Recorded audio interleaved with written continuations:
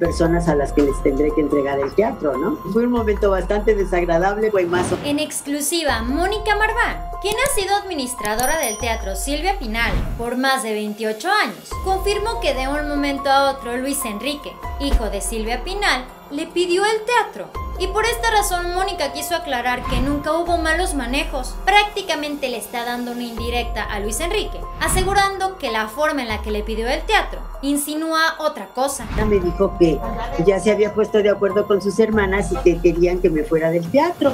Mónica, a través de una entrevista, dio a conocer que al hijo de Silvia Pinal parece que de la nada le salieron ganas de tener el recinto, aunque durante toda su vida no le ha importado un cacahuate. Por lo que Mónica dejó entrever que tal vez una persona probablemente lo esté mal aconsejando. Primero pues hablábamos con el contador o con las personas a las que les tendré que entregar el teatro. ¿no? Durante esos 28 años que estuvo administrando el teatro Silvia Pinal, Mónica aseguró que nunca hubo ninguna diferencia o desacuerdo con la primera actriz Silvia Pinal. En la entrevista con sus propias palabras, Mónica mencionó, lo que pasa es que Luis Enrique en 25 años, si ha ido una o dos veces al teatro, es mucho. Yo me pregunté, ¿cuándo ha ido a ver las obras de su mamá? Silvia estuvo dos o tres años haciendo adorables enemigos y él nunca se paró en el teatro para verla. En cambio, Silvia Pasquel sí, porque además es actriz y le gusta el teatro y todo.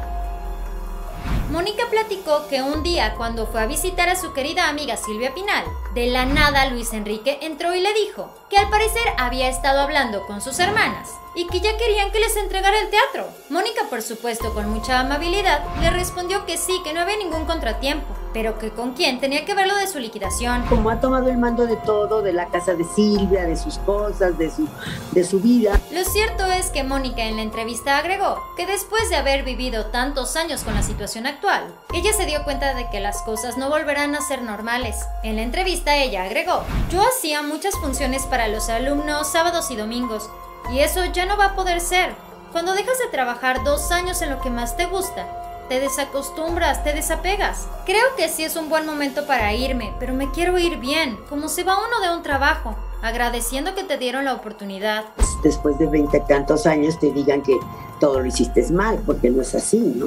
Mónica dio a conocer que ella tiene toda la intención de entregar el teatro, pero como se debe.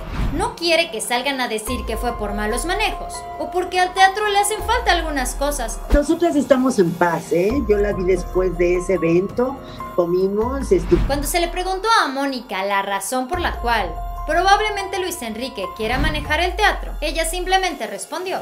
De momento le entró querer tenerlo, y sé que tampoco yo soy eterna, pero no por el hecho de que entregue mi trabajo, merezco que me desprestigien o que hablen mal de mí, sobre todo porque lo que he hecho ha sido con mucho cariño y respeto. Llegué todavía el año 19 en una cantidad bastante grande y todos los años los tengo documentados. Esto fue Famosos de Cerca. Dale like a este video, suscríbete y síguenos en Facebook. Espero que tengas un excelente día. Nos vemos muy pronto. Bye.